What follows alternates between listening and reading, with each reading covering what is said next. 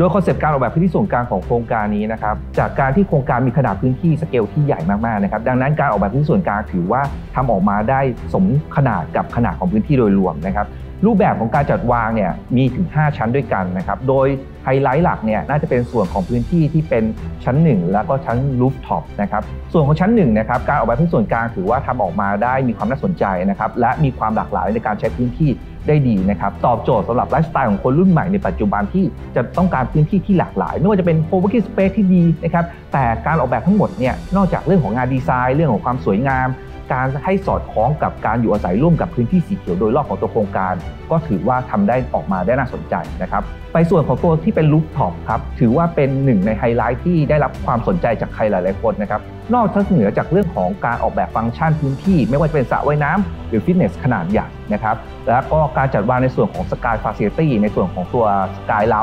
ได้ออกมาน่าสนใจแล้วนะครับการจัดวางในส่วนของการเปิดรับวิวต่างๆเนี่ยสำหรับโครงการที่อยู่ทำเลใจกลางเมืองเนี่ยการจะได้วิวที่เปิดรับมากๆเนี่ยผมว่าโครงการนี้ทำออกมาได้ดีนะครับไม่ว่าจะเป็นวิวจากฝั่งของแม่น้ำเจ้าพระยานะครับและก็วิวฝั่งของเมือง และสวนสาธารณะขนาดใหญ่นะครับทำให้ภาพโดยรวมของการออกแบบเนี่ยพื้นที่ส่วนกลางเนี่ยมีความลงตัวไม่ว่าจะเป็นทั้งฟังก์ชันนะครับและเรื่องของ value ในเชิงของเรื่องของวิวนะครับดังนั้นทำให้โครงการ Life Lama โ o อโศก เหมาะสมและคู่ควรกับรางวัล Best Amenity Condo ครับ